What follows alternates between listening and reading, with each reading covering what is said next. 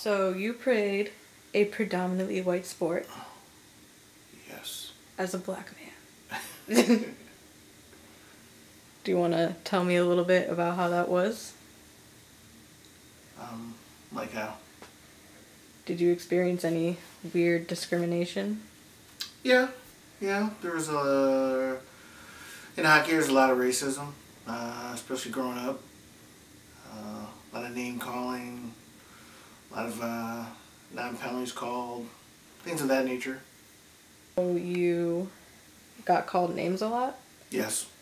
Were you and your brother almost always on the same team, or were you guys on different teams? No, we were uh, we were only on the same team. Maybe I think one year, one or two years, at the beginning, and then he's a year and a half older, so he's on another team. Did it get worse when you guys were apart? No, no, it's about the same.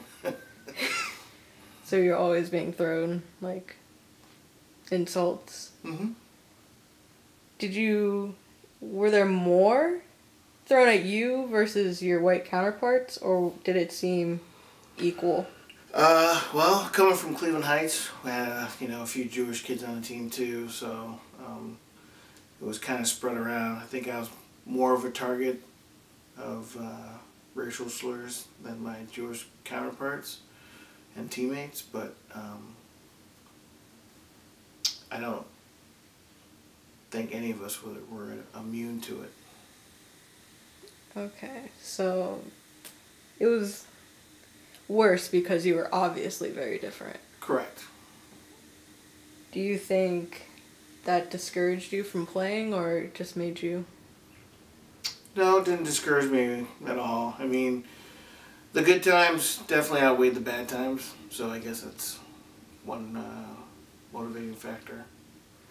Plus, I was I was better than probably ninety eight percent of the people I played against. So it didn't really matter right. because you were crushing them? hmm Were people like weirded out when they found out your parents were white? No, no, not at all. Uh, I would say the majority of people didn't really matter. Um, to the ones that it mattered to, it just I didn't care. So, You just pushed through it? hmm